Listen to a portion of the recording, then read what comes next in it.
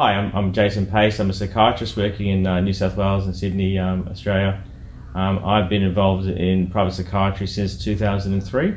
Um, my first venture was uh, working with a group of doctors uh, setting up a, a, practice called the Hills Clinic.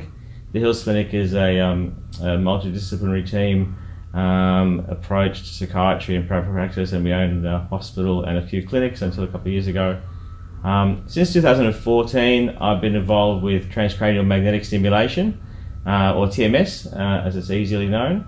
Uh, TMS is a magnetic treatment for depression. It's a it's a medication-free treatment for depression, um, and it's really it's for people who've uh, tried medications and have failed, tried several medications and not had the response they're looking for. So we're getting some fantastic results. Um, we have offices in Metro New South Wales and Sydney, um, and um, we're probably treated around 150 patients in this last couple of years and getting response rates of around 60 or 70%. Considering these people have already been on lots of medication, some of them have been depressed for a decade or more, I think they're fantastic results. So TMS, or transcranial magnetic stimulation, is a, a way of delivering a pulsating magnetic field um, over the, the prefrontal cortex of the brain, or the front of the brain, uh, and these are the areas we think are involved with depression and other mental health issues as well. Uh, the pulsating magnetic fields penetrate about two centimeters into the brain, and this creates a huge amount of activity, electrical activity and blood flow activity in the underlying brain structure. And the theory being that reactivating these parts of the brain helps uh, reactivate uh, normal behavior and subsequently improving depressive symptoms and, and other symptoms as well. Um, TMS has been around for a while. I mean, most people haven't heard of TMS, in fact, but um, there's actually probably about 20, 30 years worth of research in TMS worldwide.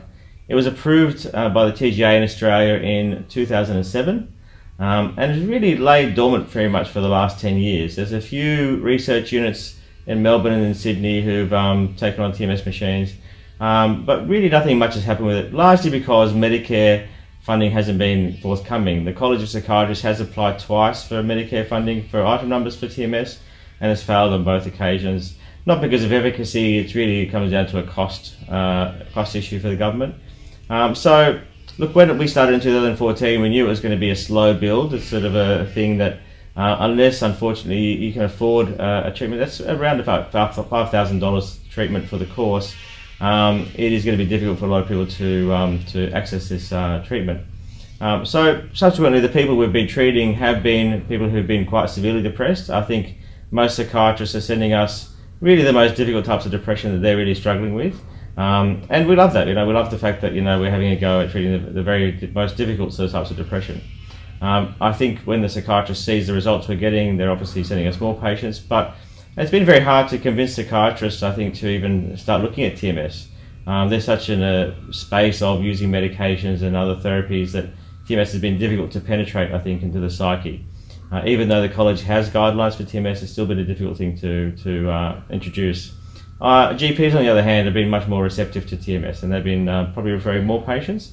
But ultimately, the, the patients tend to find us themselves. You know, patients are very uh, much on Google and, and researching stuff for themselves, particularly when they're, they're, so desperate with their depression, and families of patients as well often find us directly. Well, I think one of the most exciting things about TMS actually is the side effect profile because it, it, is very, very well tolerated, and there's been research comparing TMS, ECT, and medications, and TMS always comes up front as far as patient preference.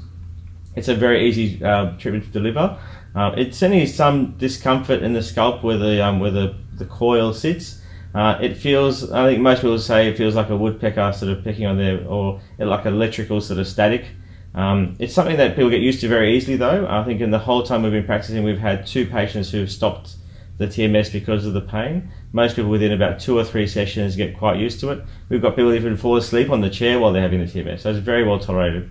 Side effect profile, look, there's really no systemic side effects that we're concerned about. It's very directly affecting the part of the brain that it wants to. It doesn't really affect other parts of the brain or other parts of the body. The main serious side effect is seizures, uh, and these are extremely rare. So one in 30,000 chance of having a seizure while you're on the TMS treatment, and that's, you know, compared, compared to other things, that's a very, very low, low risk. Uh, we're obviously prepared for that, but uh, I don't believe there's been uh, a clinic anywhere in Australia that's actually had a patient have seizures but it's certainly a, a theoretical risk. Apart from that, look, it's, it's extremely well tolerated. I think people who come to the clinic sometimes get a little bit anxious. Um, but usually within sort of an hour or two of being here and showing them around, usually they get very comfortable with the uh, with the idea. Sometimes people can get a bit of lightheadedness, maybe a, a, little bit of dizziness after the treatment. Some people feel a little bit tired, a bit sort of fatigued. But usually they get on and do their normal day's activity. So they drive themselves here, they drive themselves to work or back to back to home, and really there's not much uh, consequences as a, as a result of the treatment. So the, the, sort of results we have um, do vary quite a lot. Um, we do get also a quite a variety of different um, patients that we see.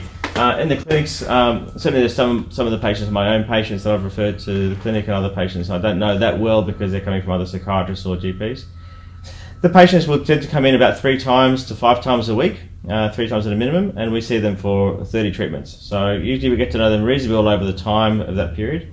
And look, the nurses and myself are always pretty blown away by the, the quick change in their in their persona.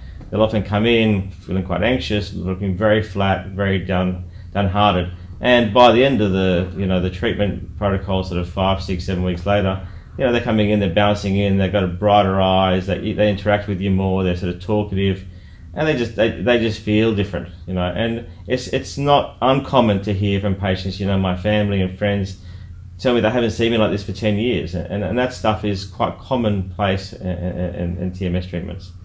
Um, the patients who um, tend to do the best are people who are going to respond usually between 20 and 25 treatments. Um, occasionally we see people responding a bit earlier as well. And typically most people who respond are going to stay well for a long period of time. So studies would tell us that about 70% of patients would remain well at a 12 month follow up. Occasionally we do see people, probably like I'd say around 20% of patients who do relapse earlier.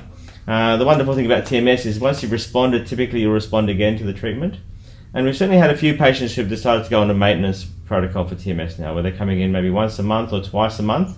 Uh, and they've managed to reduce or even stop all their medications during that process. And then we'll just see them once or twice a month for a top up. And that's keeping them really well. I think the longest patient we've had is been at it now almost since we started about two and a half years. We've got two patients who are on maintenance for two and a half years and they yet to have a relapse. So they've, they've been very, very well over that period of time.